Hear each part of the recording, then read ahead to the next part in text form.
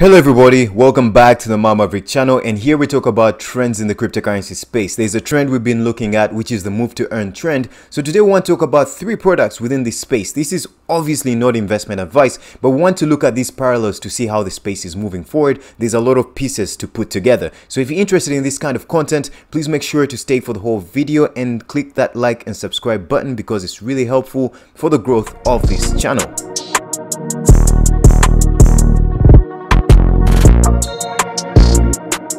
If you haven't heard of STEPN, this is the app that we want to talk about first. It has gained a lot of attention in the cryptocurrency space and you can see the button here. You can actually download now if you want to use it. So it's on Google Play and everything. So basically this falls into the category of move to earn. There's not too much to say here. I'll post these links in the description. You can read for yourself to see how you want to engage yourself in these concepts. These are new concepts highly speculative, so you have to be extremely careful and take everything I say with a grain of salt. You have to do your research extensively to understand this space, to understand where you want to go. So in short, this is another way of using smart contracts within the Web3 framework. And it's another use case. So on top of others like DeFi, play to earn, where users play games to earn tokens. You earn a utility token, and normally there's another token, which is a governance token.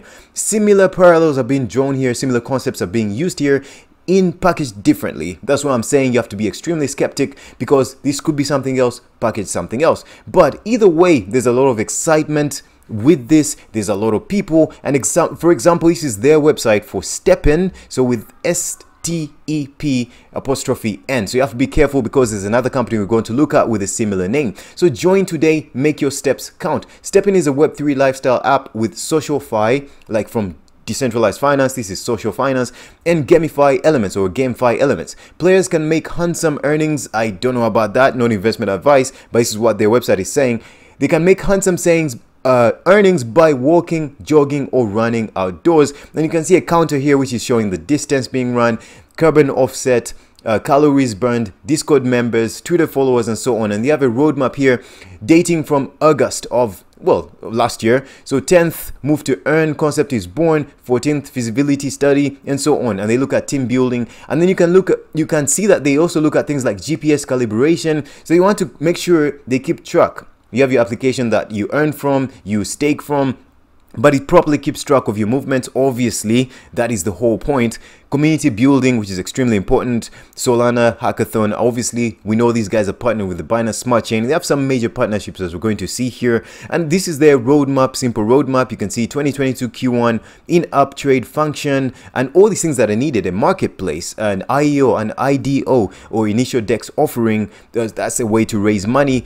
And then Q2, they're looking at in up wallet upgrade. So you have a wallet within there you can use to swap tokens instead of going to an external wallet. These are features that are extremely useful you want if you want to keep users on the platform without taking them off, which might reduce your user count. So multi-chain wallet upgrade being able to interact with different chains, interoperability within this play to earn crypto space or metaverse or move to earn or put a name to earn, you need to have that interoperability if you want to capture a, a wider range of users because someone may be using Binance Smart Chain but they don't like Solana and then yet you want to capture the Solana people. Some of the people may not like Ethereum yet you want to capture those people. So you want to connect or create bridges or a true interoperability standard where you can use your application in different ways. This is why they're looking at upgrading their roadmaps and frankly speaking any product within this space should be looking at that. That's why there's an opportunity for companies that are building products specifically for joining blockchains.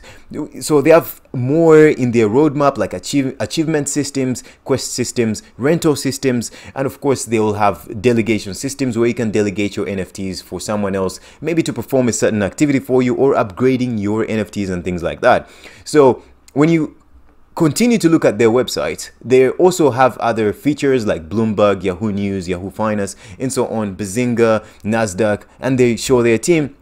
Also, they talk about their backers like Sequoia Finance, Folius Ventures, Binance, Solana Ventures, Alameda Research, which is investing in so many other uh, capitals out there in other cryptocurrencies ecosystems out there, Corner Ventures. So you can see there's a lot of att attention on them. Solar EcoFund, Open Space, some names I've never heard, but they have a lot of backing as you can see. And STEPN is one of the biggest names. And clearly you can see with their online following, especially on Twitter, 625,000 followers. That means followers from all kinds, all walks of life, people that want to find another way of earning an income especially in the current times, current uncertain times, where the proletariat are seem, seem to be stepped on by the system in some way, shape, or form. But this is not political, it's not a political channel. So, of course, when you go to their Twitter, there's some updates or some things that they're looking at. For example, as we wait the launch of our minting scrolls. So, here's a sneak peek into one of our new designs, especially for STEPN family. Tell us what you think. So, obviously,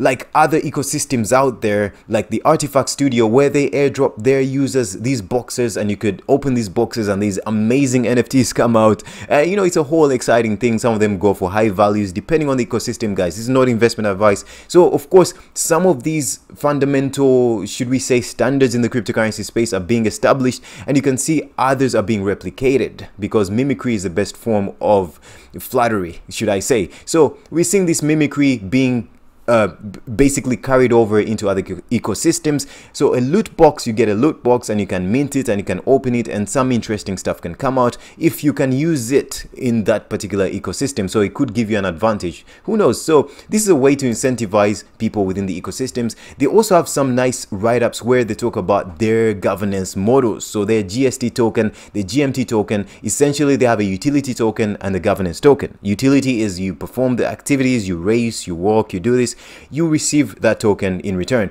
And the governance token is one you stake or use to vote on fundamental issues within the ecosystem. These are models, these are standard, these standards that are being developed in the ecosystem. When the next bull run comes, we don't know how these things are going to change, but we're seeing the space building with these standards.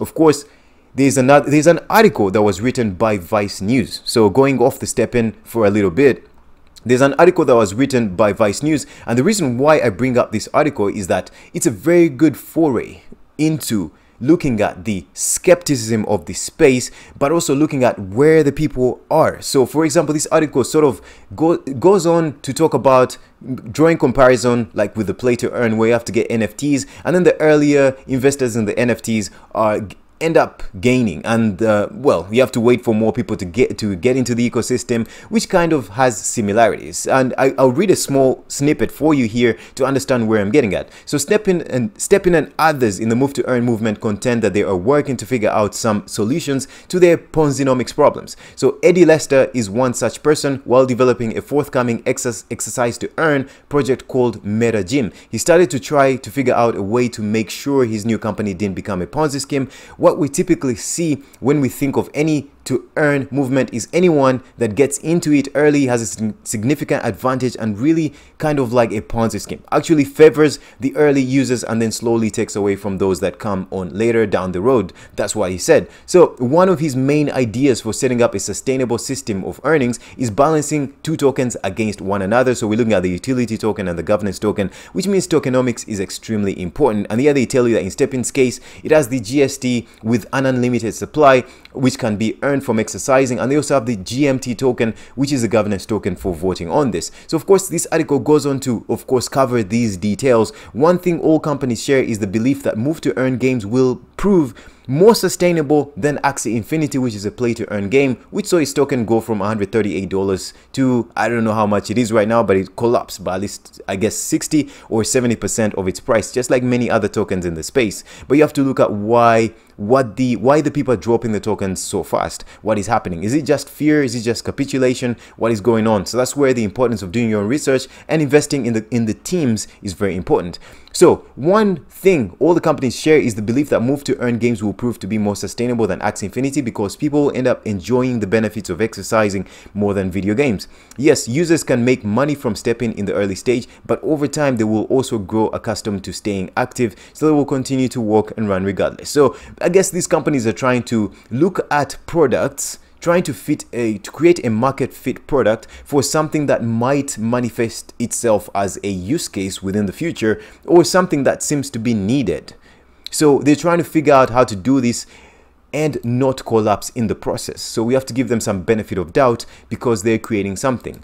the research part comes in you have to be really careful and at least invest something that you're not willing to invest stuff that you're willing to lose don't invest your savings and your whole um, money some of these applications you don't need to actually buy anything you can just download the app and on board so as I was saying, there's similarities within the names. The other was STEPN, this is Step App, Step App. So this is a whole different applications. They have all these graphics and everything, but I repeat, all that glitters is not gold, guys. So just because it has all these apps and all these um, all these metrics here, the number of users, 10 million and so on, users are pre-signed to create their fitness and social life. So pre-signed, they're not really active users. And they talk about exercise, socialize, farm, play, earn. So you can see they're creating their NFTs or whatever. They're going to show these in the future and they have their teams. So they have their faces here and so on and advisors and uh, I guess ambassadors and so on. So obviously you have to be extremely careful because these are extremely new foray kind of things.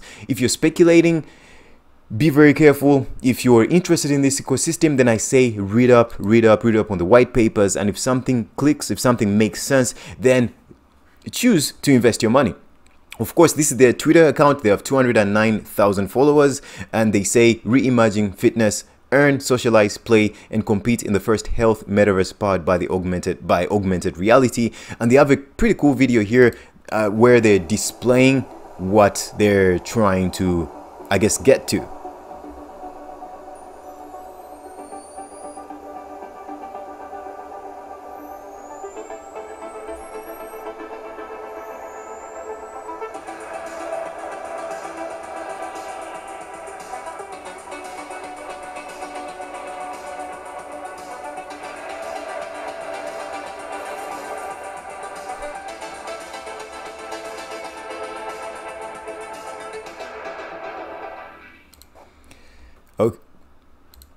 Okay, there you have it. It's a pretty cool intro, pretty cool video. But as I said, make sure you do your own research before. Just read up this space and see where these companies are getting at, what they're doing, and make sure you're involved. Of course, now, for example, they have a white paper here, a light paper. Just like I imagine the STEPN people also have their roadmap and their white or light paper, because you don't need to look at the white paper, maybe the blockchains they're using and all that.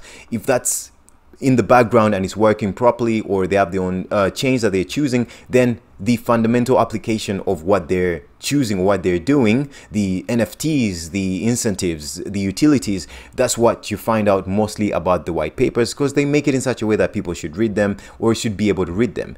But as I said, Make sure you can read this article posted by Vice News. Of course, I'm going to put in the link of the description and you'll understand where they're coming from. Now, the last application I want to talk about is Mobix, which is building on Fetch.ai, which is built on the Cosmos ecosystem. Now, these guys are looking at a play to earn ecosystem, but they're looking at, of course, having interoperability standards, but they're mostly focusing on the sustainability issue and creating or supporting micromobility infrastructure. So, of course, any vehicles that essentially don't pollute by using internal combustion engines and any vehicles that use electricity or a bicycle where you use your actual energy your physical energy to move it. This is the target market which is quite interesting. Now of course they have their mobix reward tokens and recently they just uh, announced or they actually activated their mobix miles where you can convert your miles into the mobix token which is quite interesting. So instead of creating two tokens you have the miles which you can acquire by riding a bicycle by walking and all that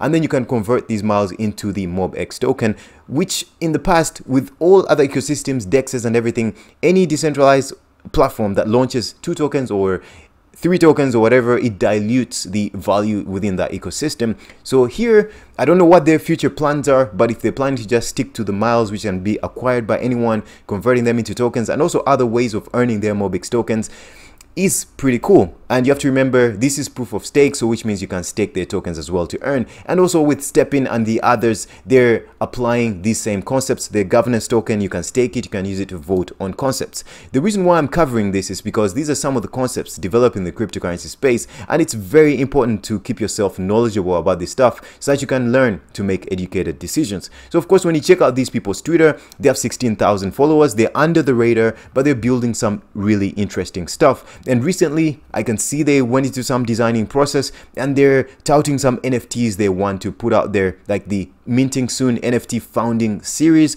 So you can see they're creating all these kinds of sort of, they seem like incentives where you can buy these NFTs and boost your trip rewards up to 3x and all this. So of course, companies have to create a balance within what products to sell at what tier and how to create a long sustainability thing. I mean, these companies need to exist five in five years time, in 10 years time. So how do you create a balance between creating a sustainable model and not risking that over that speculative nature because it's not normally very good in the cryptocurrency space, especially if you're a new company. So these are things that different companies have to deal with, including established blockchains. Everyone's having some kind of a problem in this ecosystem.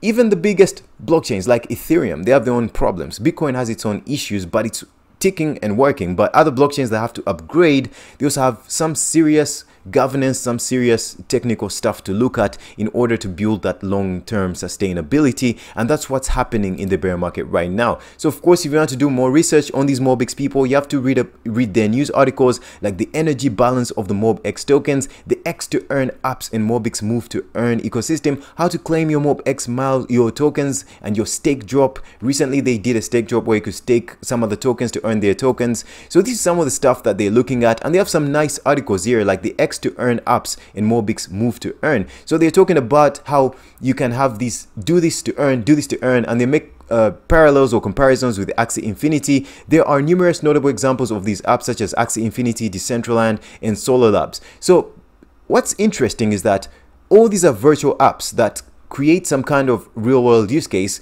I'm not saying all of these are going to exist, but it still doesn't mean that this stuff is not going to exist. There's, there has to be a an app that's used, that's valuable, that's actually real, that's creating real value to those that are using it, that's going to emerge as that app out there. So when we look at some of these that have that are mentioned here, like STEPN, another one that's sort of similar to the name Step App, um, then Mobix, they're trying to see how they can infiltrate this space or create some of these new concepts within this ecosystem, this uh, this play to earn. Now, the interesting thing I wanted to point out is that if these platforms are able to create an interoperability standard, then it's easy to onboard onto, as they've said here, other play to earn ecosystems like or maybe metaverses like Decentraland so you can organize events races or virtual races or even virtual reality implementation where people can run on their tread treads or whatever and exist within these metaverses through this play to earn. So there's going to be a convergence of some of these technologies as we move forward in whatever shape or form. So looking at them like this kind of gives you that ability, that intuitive knowledge to be able to look at the cryptocurrency space objectively, especially in the bear market, because the best time to actually make decisions of where you want to put your money if you're investing. But you have to remember, take everything with a grain of salt and do a tremendous amount of research and also try to invest in the team because it's the people that actually matter. Alright guys, I hope you learned something and I'll see you on the next one. Take care. Bye bye.